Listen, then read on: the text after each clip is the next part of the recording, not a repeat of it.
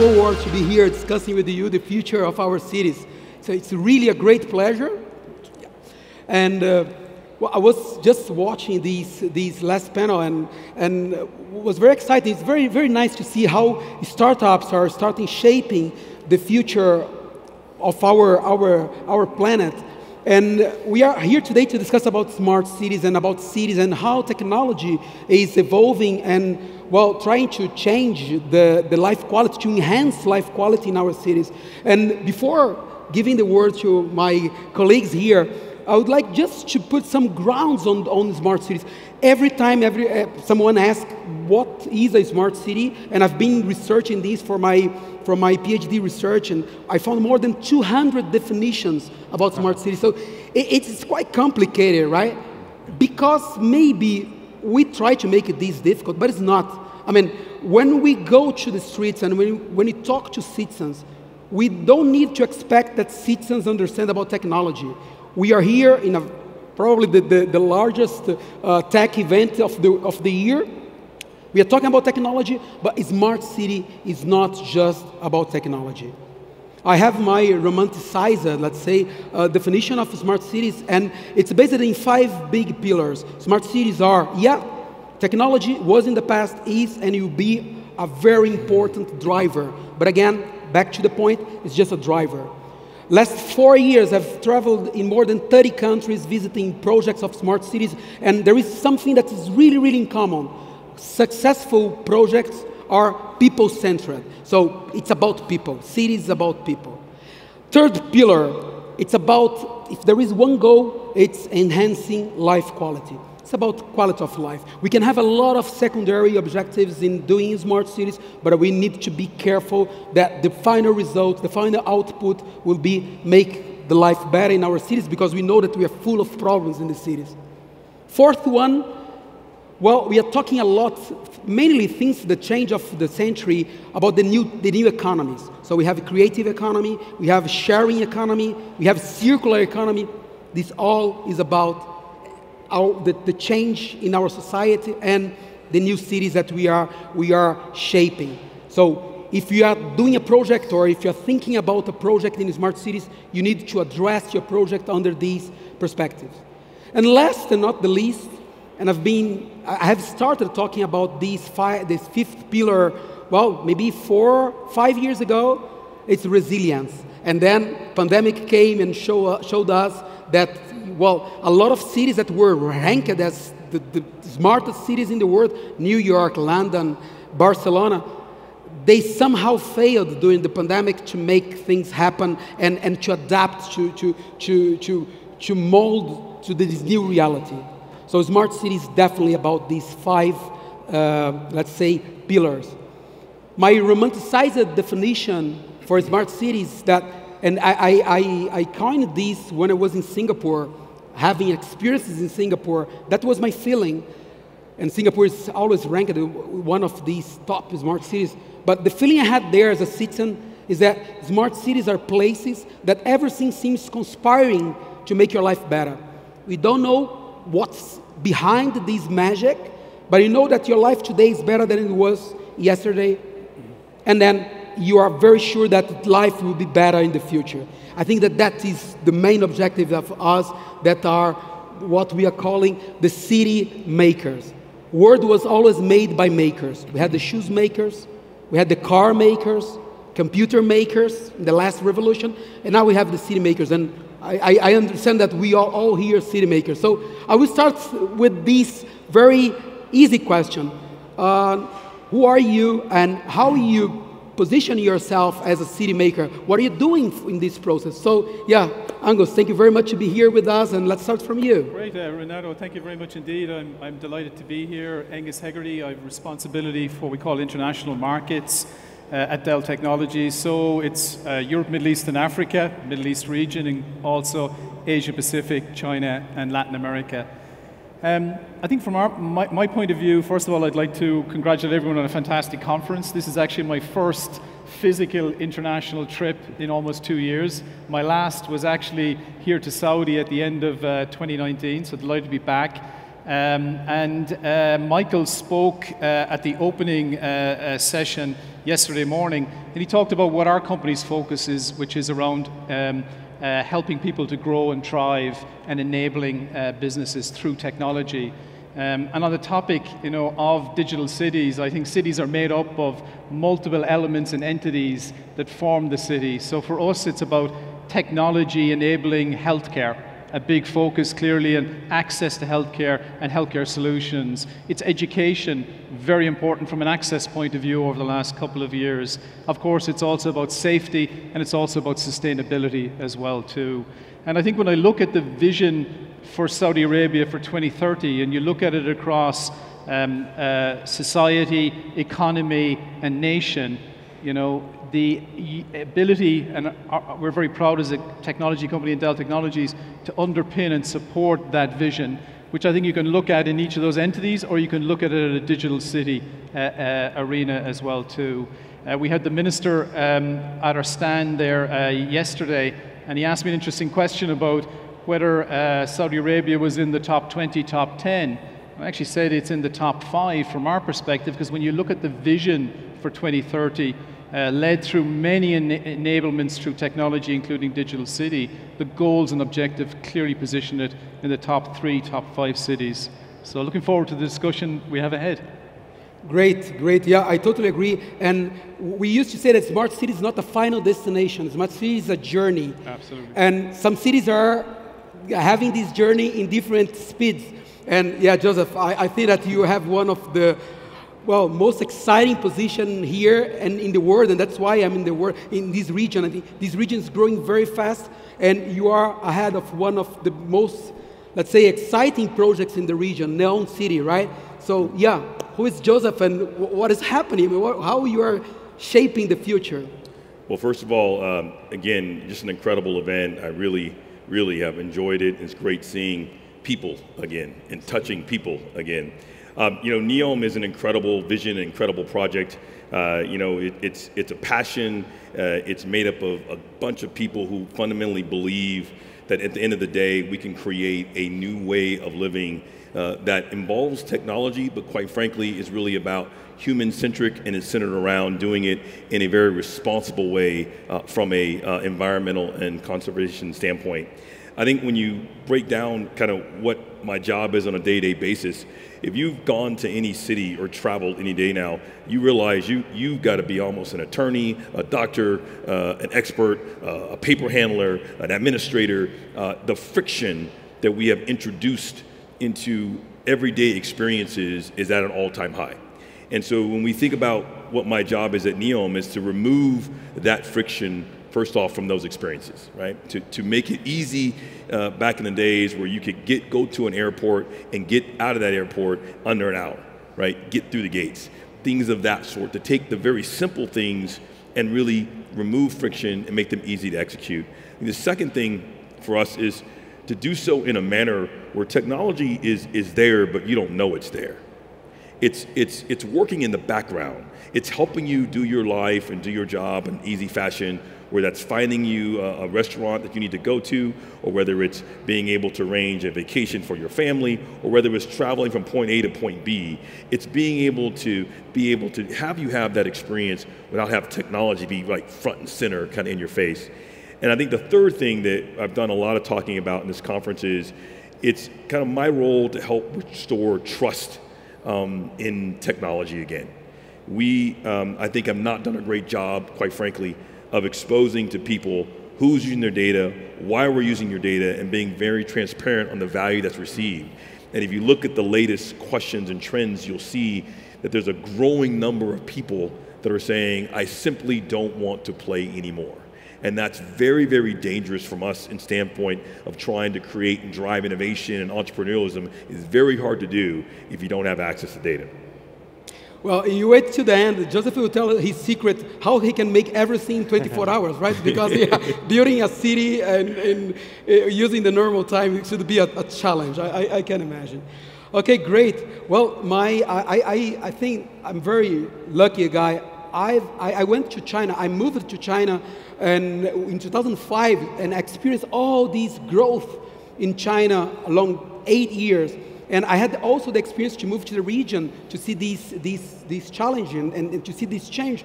And I started my journey in the region exactly in, in Abu Dhabi. I, I was with the Abu Dhabi government for the Smart City Agenda, and I saw uh, all these, uh, well, all, all these work that G42 is doing there in Abu Dhabi and, and, and, and now growing in, in the region. So Talal, yeah, Thank tell you. us your, tell us a little bit also about your challenges as a city maker in a, in a very thrilling region. Yeah. Absolutely. Thank you, Renato. And again, echoing my uh, co-panelists, I really uh, appreciate the organizers giving me the opportunity to be here, but uh, what a great event uh, that you guys put together. So congratulations. And it is also similarly uh, my first official commercial travel since COVID. So uh, very lucky to make this the first one.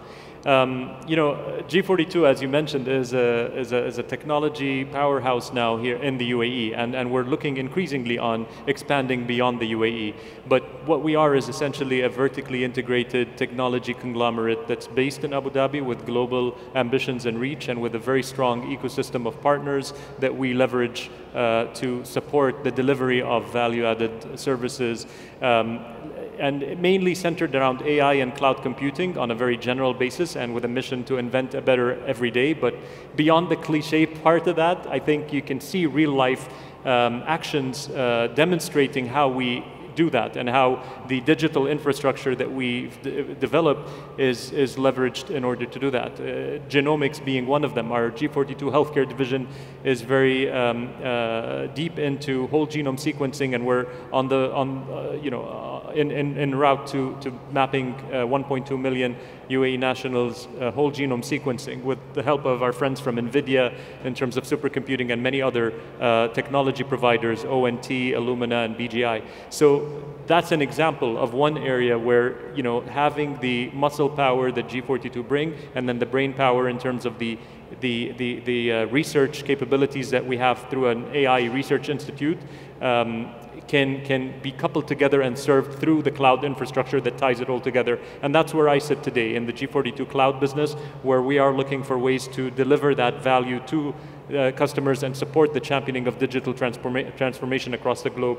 So when you look at smart cities specifically, it's one area that is ripe for uh, continued disruption and evolution in how you de deliver that type of value because everything typically was scattered. I think with the pandemic, and you mentioned post-pandemic, I think that's kind of thrust us into the position where we're able to now take advantage of creating the value proposition that digitizing everything and having a central repository or a data lake could then yield in terms of value. So that's where we tend to focus. And um, what we are trying to do increasingly now and looking at other countries, including Saudi Arabia, where we're planning on establishing a presence and an office over here soon, is uh, take what we've built in terms of a model, in terms of that sovereign cloud architecture and digital infrastructure, and replicate it in different parts of the world with that bespoke type of offering, build, own, operate, transfer, in addition to bringing our ecosystem partners with us to support us on that journey. So that's kind of where we play in that mix. And, and the same thing, right? 24 hours, not enough to make everything. They, they do call it G24-7 instead of G42 for a reason. Great. And yeah, well, we, the next round of questions will be exactly the discussion about the foundational technologies and how this is important to create the basis for our cities. But before, uh, we, when we talk about technology, we, we see technology around us and we identify brands and, and, and technology that's easy, makes our lives easy. But there are some technologies that are really everywhere, but sometimes you even don't perceive these. Uh, we had this pandemic that has accelerated all the change and accelerated all this process of digitalization. And NVIDIA is a company that has been always there in our houses, in our companies, and I mean, in this fantastic, you know, visualization and, and, trying to, to, to make image as real as possible, as much um, as possible. And yeah, I think that the, all these challenges and all these new technologies that we're going to be discussing, like metaverse, is totally related to you, right? Yep. I, mean, I think that you are the one that takes care of everything in, out of the scenes. So a fantastic Hollywood movie happens because there is a great technology and team in, in, in, in the back. So how's it, who, who, are you and what are you doing in these, yeah, transforming so, our cities? Yeah, Renato, thank you. or obrigado in Portuguese. I Yeah, it's my Uh, thank you very much. I'm Jaap Zuiderveld, responsible for the uh, EMEA region, that's Europe, Middle East, and Africa. Um, we as a team, what we want to, to, to, to accomplish is help you being uh, successful. And let me get a little bit into that. If I look at your daily life today, probably 8 out of 10 times our technology is helping you. When you wake up, take your car, look at your mail, I can tell you that 8 out of 10 times our technology is underlying. We work with our partners to make them successful.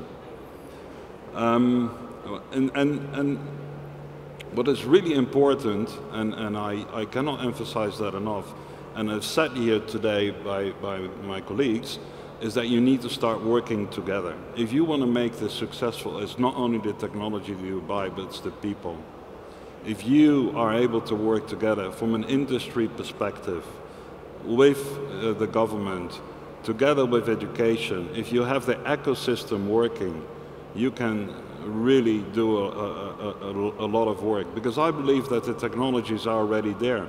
Today, for example, any airport, you come in Saudi Arabia, um, they use our technology for crowd, um, you know, to, to understand crowds, uh, to validate passports, it's already used. So there's a lot of places where the technology already used, but it's the people who are going to use it.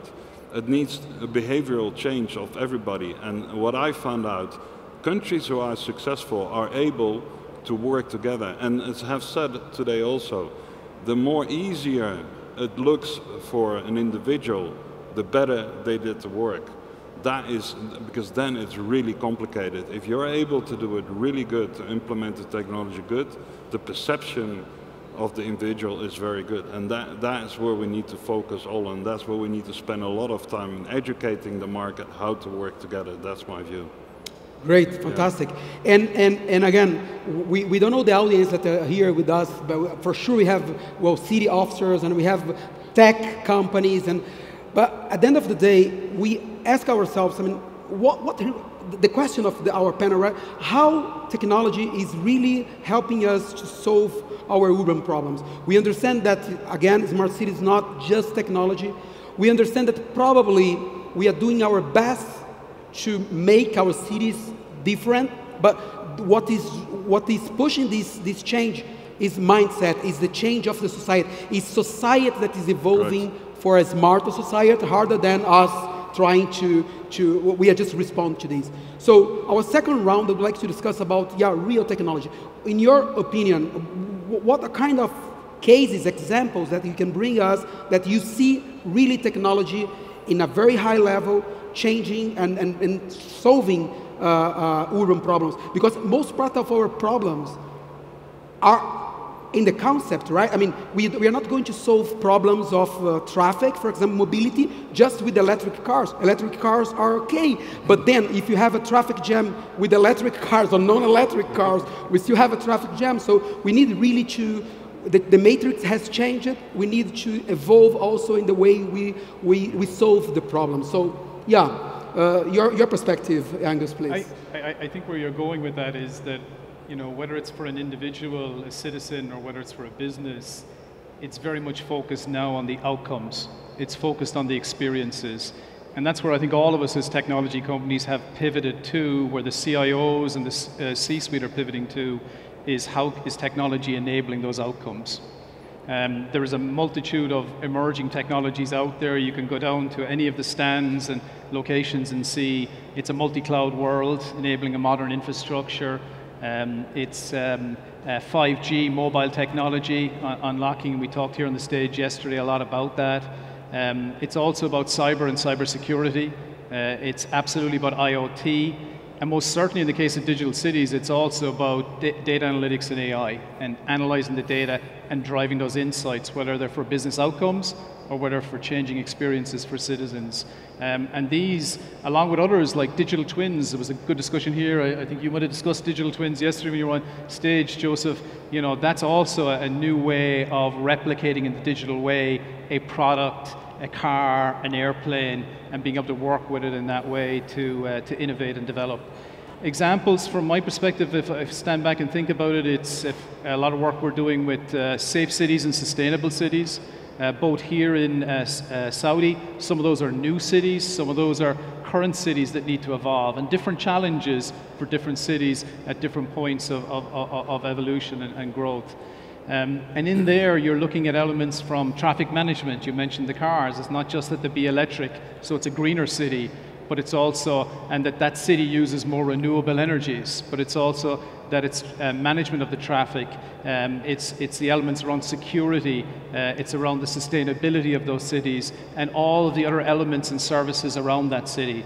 Um, I was with the uh, Aviation Authority this morning with uh, His Excellency, and we were talking about the airports here in each of the cities and how you look at throughput through the airport, how you use AI and data analytics to enhance the experience from a user uh, of that particular service or area. So that's absolutely key. Healthcare is another fantastic example of where we've seen over the last two years, education would be another one, of where you've seen a transformation in the experiences and the services that are being delivered through technology.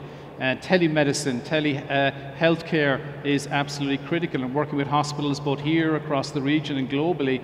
It's also about how do you change that experience and outcome from the patient? How do you narrow the time from the patient coming uh, with symptoms to detecting it to application of medicine?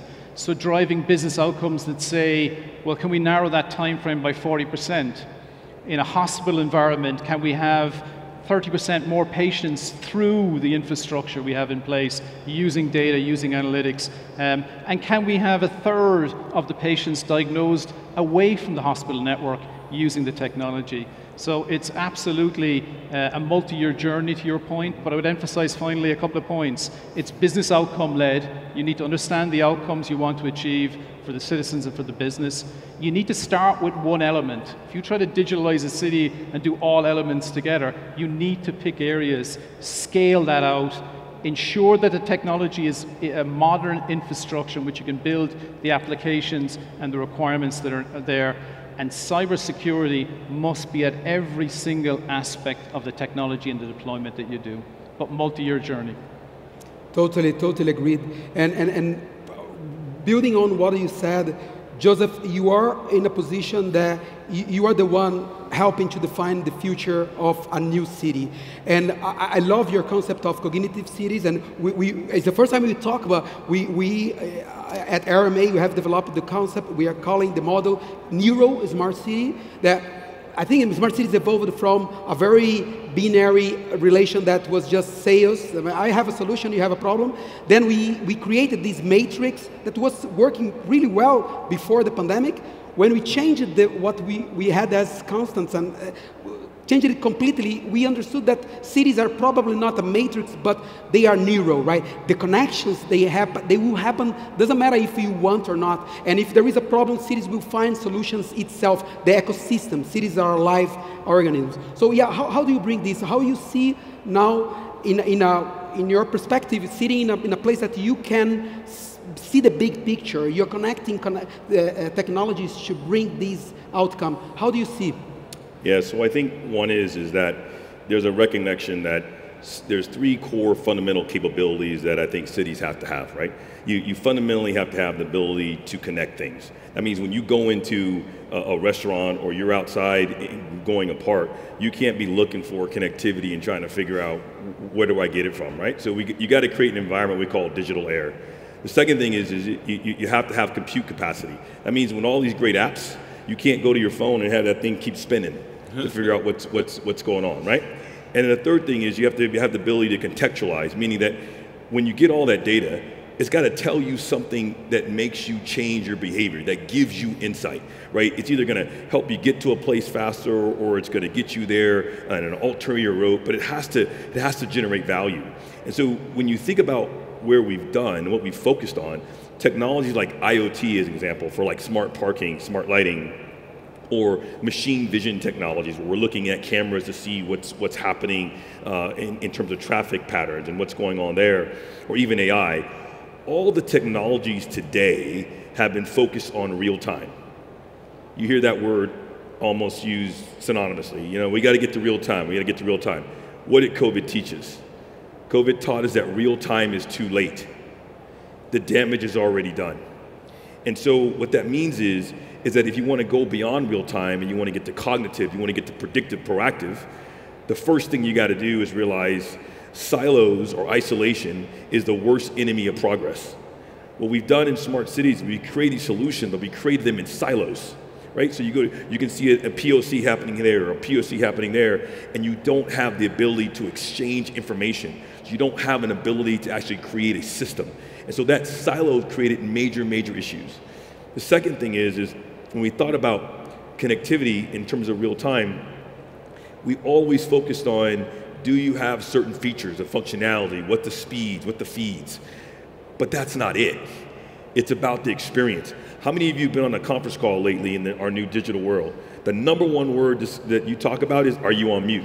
you must say that about a thousand times. That's not the experience. I talked earlier about my, my uh, nephew Malcolm, right?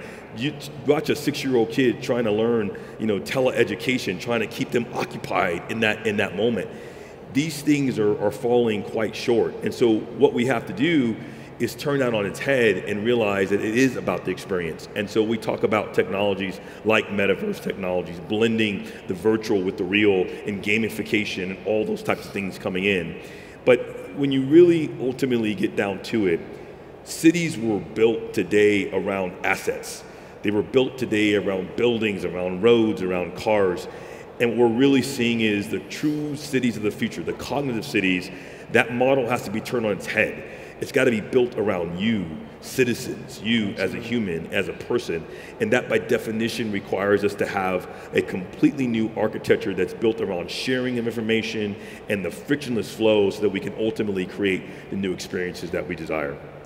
Great. And, and understanding that we are here in the Middle East talking about the future of the Middle East, but we came from different perspectives, different cultures, and different realities, right? Talal, I think you are the only one among us that you are local, right? So for you, uh, one of the topics that we discuss in the, in the Neuro uh, model is that DNA of the city and DNA of the region should come first before we are solution providers and people are always asking for use cases but then i mean it just makes sense if it makes sense to the, to the local reality.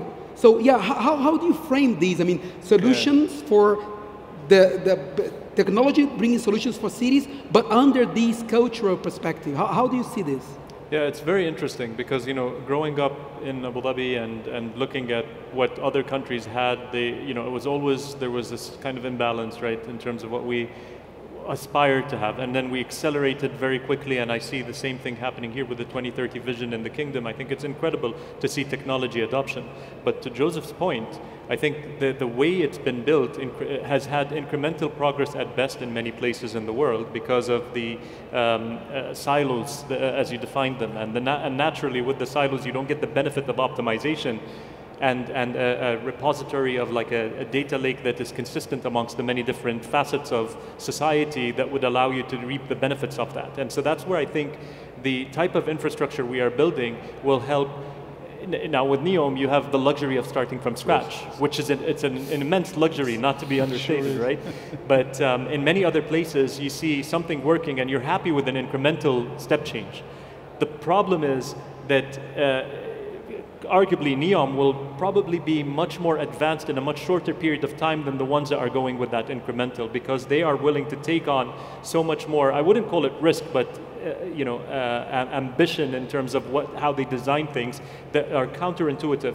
It's like leapfrogging in, in, in uh, certain countries when it had the telecommunication uh, error. You wouldn't want to put landlines where you can get a cell phone if you're able to get the cost structure in place to where people can then Im immediately have cell phones. So we're kind of in that kind of paradigm shift today. And I think what we are looking at as, as, as a company is how do we enable that quantum leap into the future by disrupting what's already pretty advanced because you don't want to be left behind. And so that's where I think the cloud infrastructure, the scalability of it, and then the fact that if those siloed things, the motivation behind having siloed information was mainly data uh, sovereignty and data privacy. And so if we're talking about healthcare, financial institutions, sensitive government business, they're worried about their data being you know, uh, uh, sent anywhere outside of the sovereign, sovereignty of the country. So the cloud infrastructure, similar to ours, that allows for that data sovereignty, that then allows other companies from the ecosystem to plug into that to force multiply what we're doing, is a solution that I think will help us make that quantum leap and enable smart cities, uh, even in existing countries that are uh, already advanced the way they are. Great, yeah. I don't know if they, they told you, but we have a two hours panel, but it will be half an hour here, and then we are going to be keeping talking uh, outside. So yeah, just to wrap, I think that you have now the very important, very important uh, uh, role here to wrap up everything. And yep, I think that um, you can do this, this leap, this jump to the close future we are seeing what is happening, all these hypes, metaverse, and, and, and well, we see that the future is very exciting. So how do you see technologies and the way you are working technology uh, that, that's to come? What, what is tomorrow? What is to come? How do you see this? When you have two minutes to wrap up. well, you're asking me a quite interesting question. Um, but let me, let me, let me uh, I think in the future, what will be very important is that we understand how, what, what, impact our technology can have. And one of the things we as NVIDIA are working on is we call it metaverse. And metaverse is basically you create a digital environment and where you combine, where we are building a platform, yeah, and in a digital environment, you're able to combine AI, data, VR, all the technologies and communicate together. Um, as an example, uh, the best example if you want to know is BMW, what we did with BMW. We created a, a factory, a digital twin in a digital environment, and in that factory they programmed in a, you know, in, in this platform, they programmed a complete factory. And I, I think that is going to be uh, uh, uh, on top of what, everything we do, but that's going to be a, a game changer. And we're talking to a city in Europe who is going to build a complete digital city and is going to see what the technology can do to help that city. And those are things which really, because then you can see what happens with traffic, what happens with people moving around, but also how the payment systems work and everything else, uh, you know, my previous colleagues talked about. And, and that is something we really uh, want to focus on. And, and, and not only that, it's also understanding the platforms, how you communicate with each other, how, do you, how, how does a financial platform evolve? How, how, you know, how, do you, how do you manage crowds? How do you do um, um, uh, security? Those are kind of things you, you need to help the community, we need to help our partners to do that consistent, understandable, in a language which is easy to speak. And uh, from, from, my point of view, um, a metaverse where we're going, that where we are going to put the real world and the digital world together, that's going to help in solving a lot of problems before they even uh, come, in my view. Well, fantastic. Thank you very much. I think that we did a very good job. We talk about the past, present, and future of our cities in just half an hour. We still have more to talk a lot. We could stay here the whole day. So if you are curious about what's happening, what's to come in our cities, feel free to, to talk to these mates. They really know what's happening. Thank you very much. Thank Hope you. to meet you in, in the future projects around the world and around the region. Thank you. Thank you very much, everyone. Thank you.